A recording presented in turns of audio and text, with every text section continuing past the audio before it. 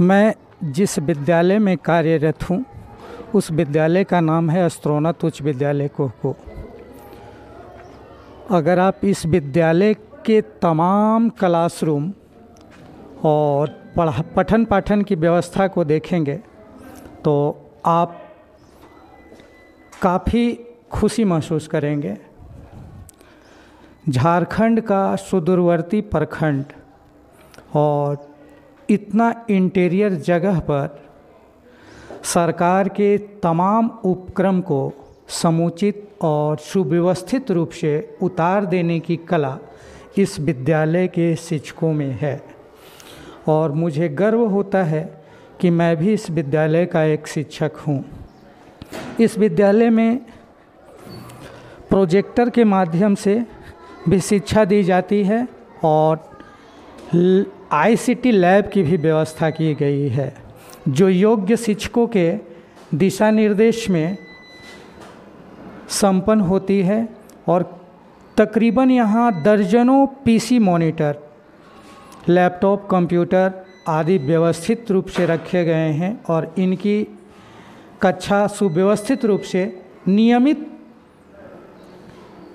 की जाती है। और बच्चे बड़ी लगन से इस आईसीटी क्लास में उपस्थिति दर्ज कराते हैं।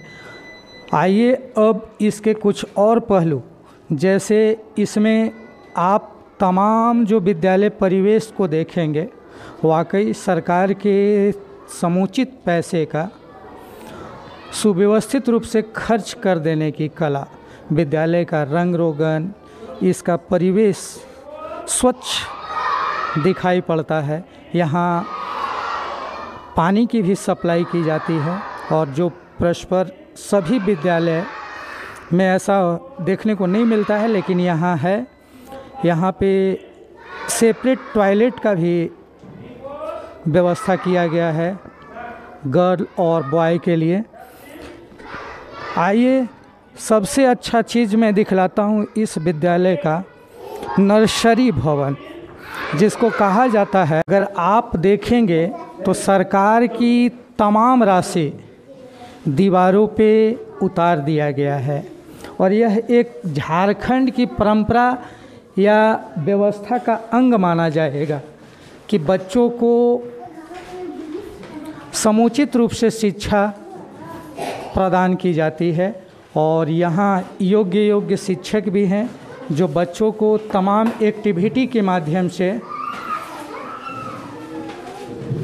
पठन पाठन कराते नज़र आते हैं। आइए बच्चों का एक एक्टिविटी का झलक देखते हैं इस विद्यालय में।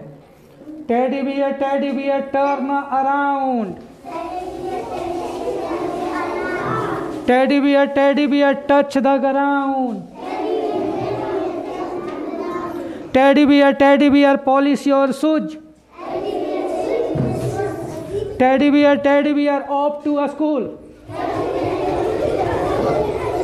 ये इस विद्यालय के कक्षा का एक अनमोल और सबसे मज़बूत कड़ी है, जो यहाँ शिक्षक हिंदी में, अंग्रेज़ी में, मैथमेटिक्स में, टीएलएम के माध्यम से शिक्षा प्रदान करने के दौरान ऐसा एक्टिविटी हॉल डे संपादित करवाते हैं। आइए अब इसका, इस विद्यालय का जो प्रोजेक्टर भवन है उसको हम लोग निरीक्षण करते हैं। इस विद्यालय में आईसीटी लैब होने के साथ साथ यहाँ प्रोजेक्टर के माध्यम से भी बच्चों को शिक्षा प्रदान की जाती है। आपको मेरा विद्यालय कैसा लगा, यह कमेंट करके ज़रूर बताइएगा।